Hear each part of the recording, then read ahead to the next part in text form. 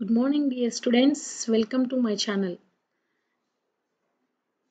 Today in this video I am going to explain very important topic from Python programming that is about command line arguments. Okay, what, what are command line arguments and how to give command line arguments with practical example I will I am going to explain to you. Okay, first I will try to explain what is what are command line arguments and what we have to do to give the command line arguments?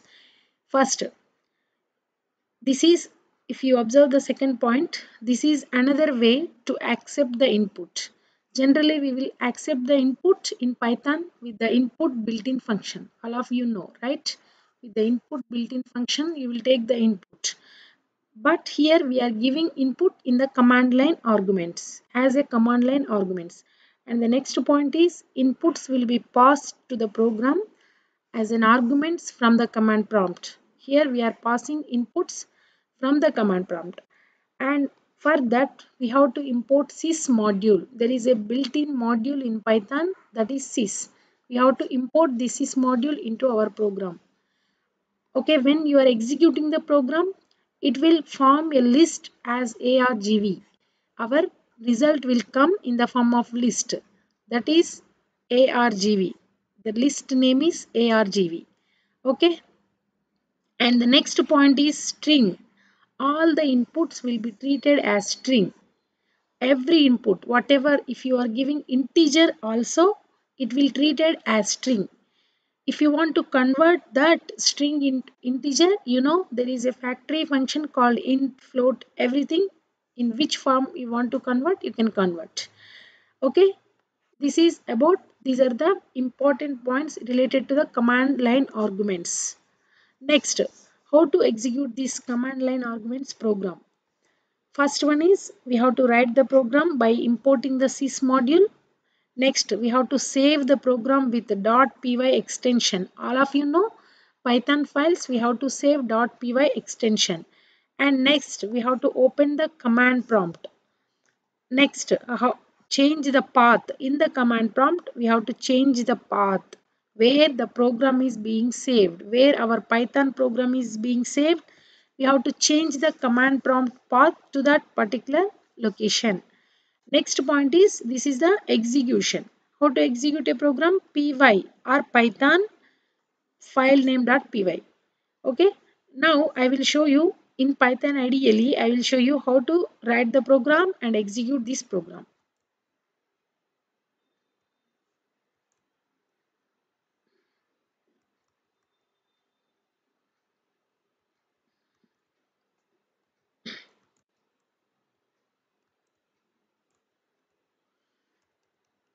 okay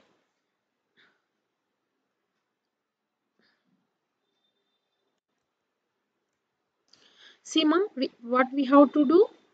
Here we have to import. Here we have to import import sys module. Okay import sys. In the next step print sys dot argv i already told whatever the inputs it they are storing into the argv list. Next this is just this is the program. That's it. Okay next what we have to do? We have to go to the command prompt. We have to go to the command prompt okay?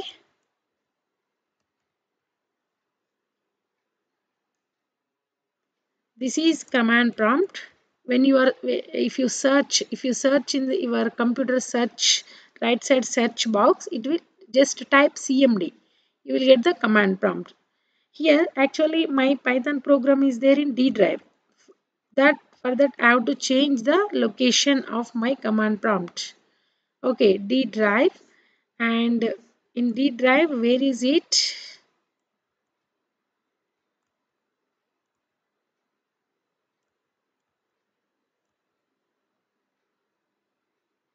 D drive mm, there is a python practice. Okay I will tell you wait.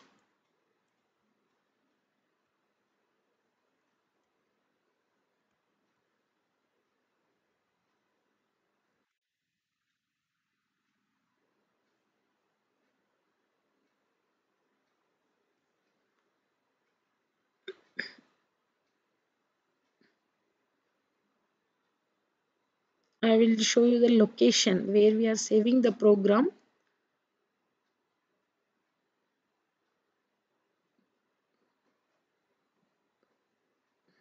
Yeah, PP practice. Okay, now we will go to that location.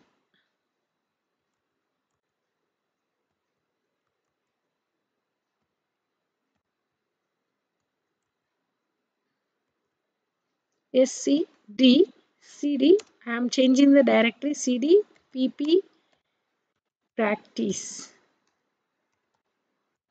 okay now it is coming to the our where our program is saved in the python IDLE now how to execute the program? Py py one more thing we did not save our program. First before that we have to save our program right? We have to save whatever the python code we have written in the uh, untitled file. Now I am running this module.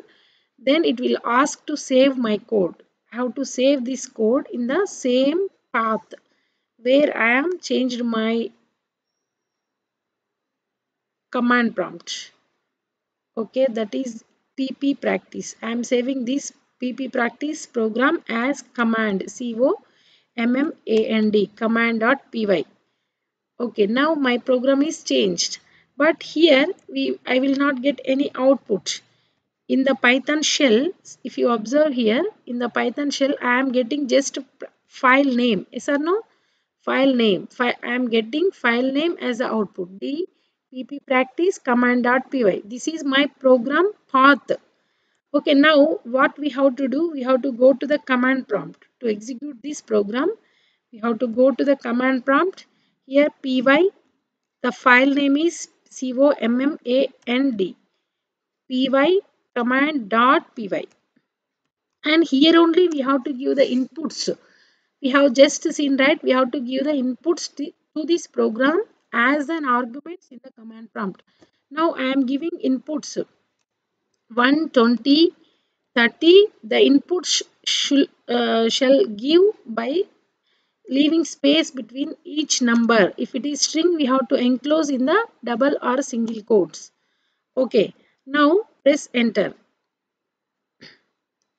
If you observe here how you are able to get the output, within the command prompt we are giving the inputs and within the command prompt only we are getting the output in the form of list.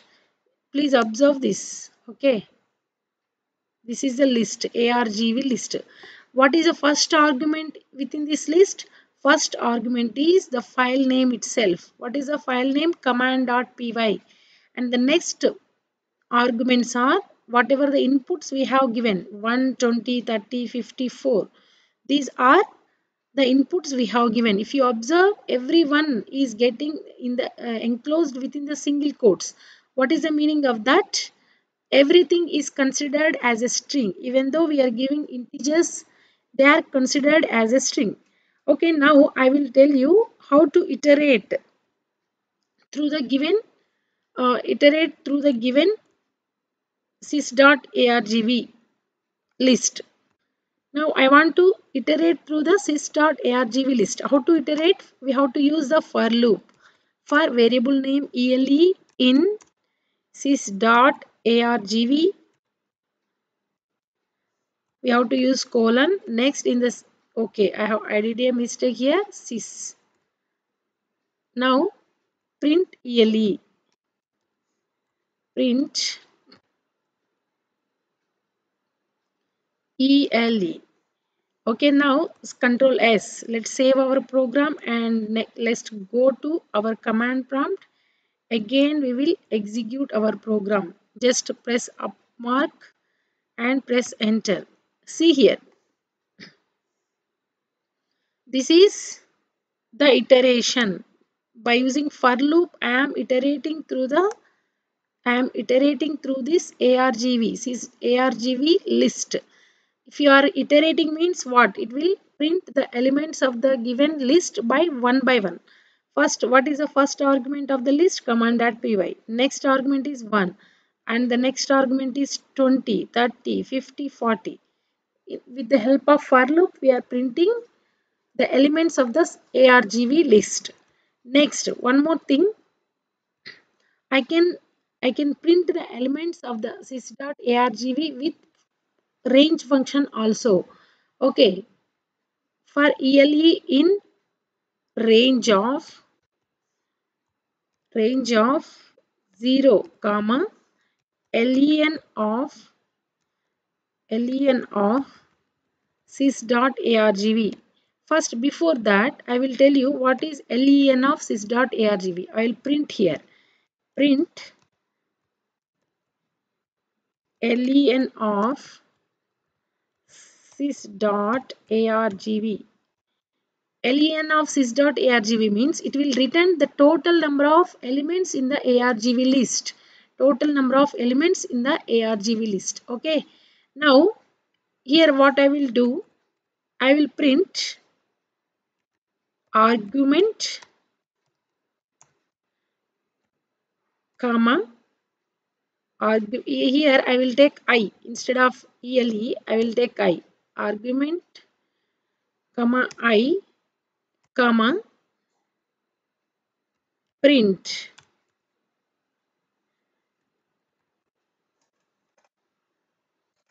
Okay sys dot argv of i. Now just see the control s. I am saving this. What we are doing here with the help of with the help of range function with the help of range function i am printing the elements of the argv list. Okay in the range function what i am using? Starting with 0 from starting 0th index up to the length of sys.argv all of us know range function will give 0 to n means it will print up to 0 to n minus 1 okay now i will show you the output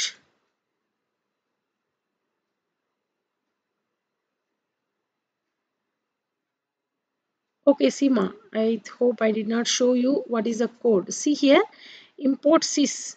First import sys, print sys.argv and in this step, I am showing you print len of sys.argv.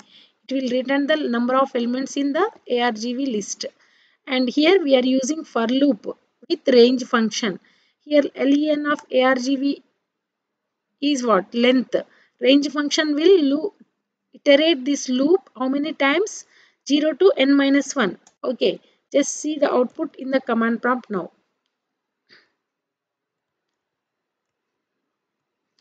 Okay again we will execute the same code. See here. What here? We got 6 what is the meaning of this 6 if you just observe 6 what um, for which it is getting giving the output. Print len length of sys.argv argv list is containing how many elements?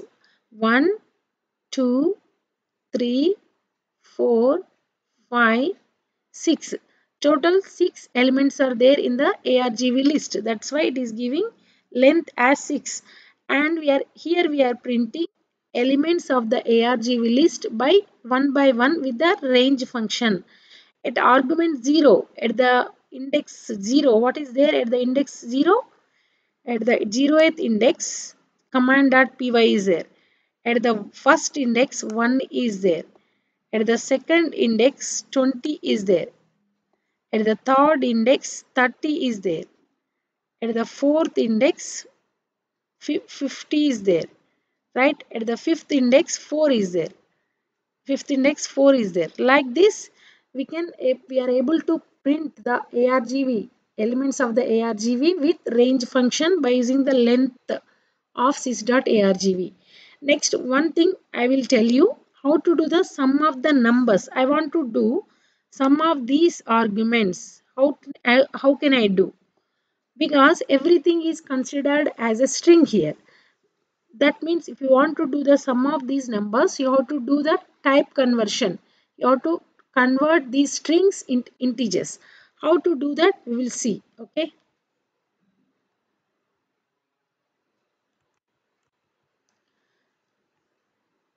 Now he, i will use the same program and here just i will initialize sum is equal 0 because i will use this sum variable to find the sum of the given arguments.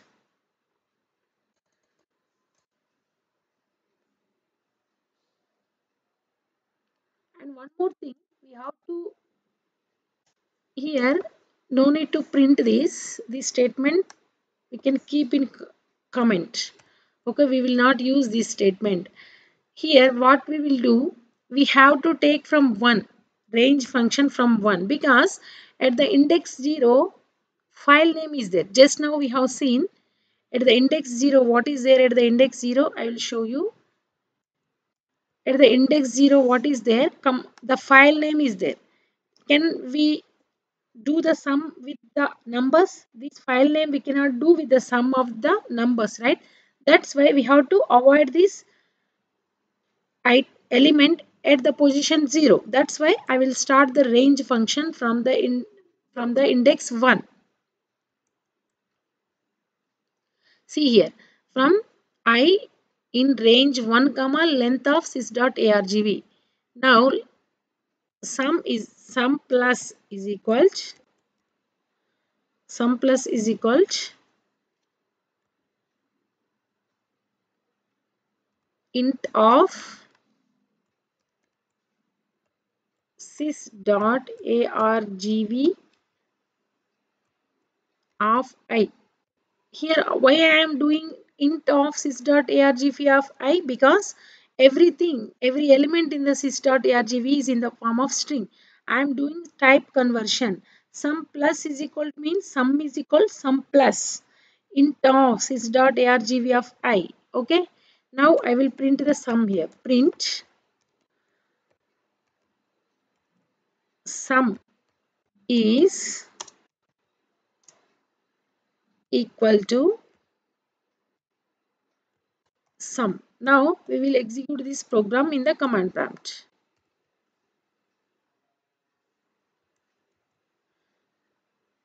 okay i'm giving numbers 50 60 and 40 okay now see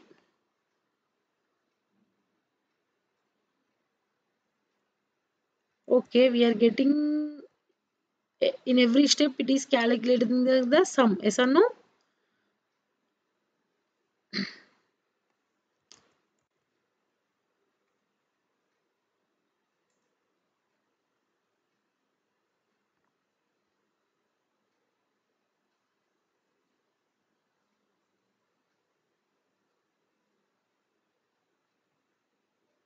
Okay.